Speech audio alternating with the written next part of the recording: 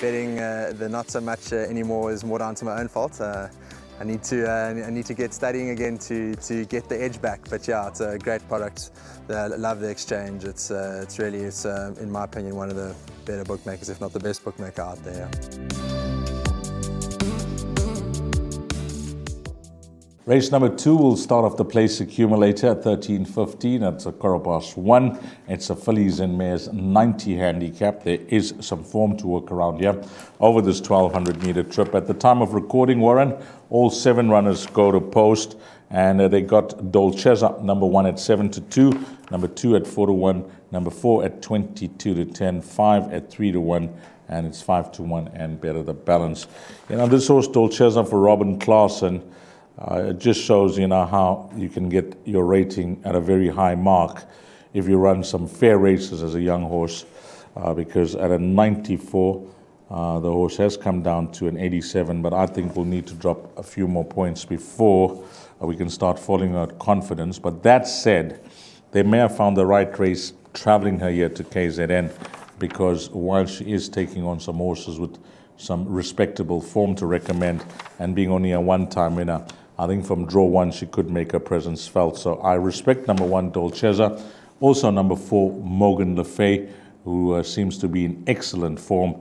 Acacia's Blossom will get a mention from me just on the fact that she loves racing over the course and distance. Three of her five wins have been at this track over 1,200 meters.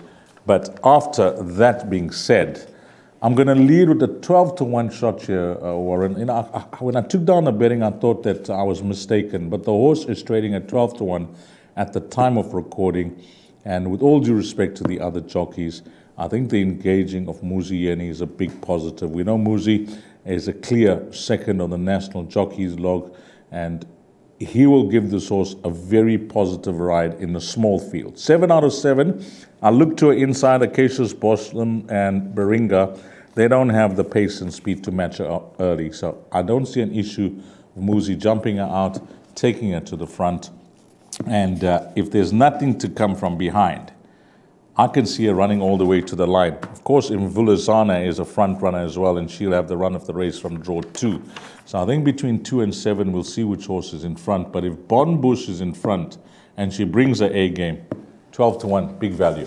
Well, that's what it's all about, Dees, uh, looking for the value and, and the big value at that. So Bon Bush, we'll go with you. We'll, we'll put her into absolutely everything. She's a, a daughter of Captain Al. As I said, we are working together, so we'll be able to have a good look at her in the paddock, etc. And maybe we can have a little nibble at those attractive odds. You've touched on Dolcezza, Morgan Le Fay, uh, even a horse like Berengaria for Baron Buertis is making her polytrack debut but uh, would be able to have some claims, although she is making us wait for her next win. I don't think we need to sort of go too much more than that. Obviously, Acacia's Blossom uh, is, a, is, a, is a fairly classy individual.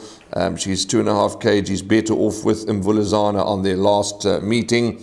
Uh, but just quickly going back to Dolcezza, I think if she takes to the poly, mm. which is a big question mark, uh, from gate one with 55 and a half, you look at uh, who she's run with there, Secret Identity, Betula, uh, Bavarian Beauty, Mrs. Browning, Runaway Bomb. She's really taken on some, some serious horses. And uh, Dolcezza and uh, Bon Bush could be the uh, boxed exacta play. But uh, that's the second race. Dees is going for the value. Bon Bush and we'll be shouting home as much as we can for the uh, 12 to 1 value about Bon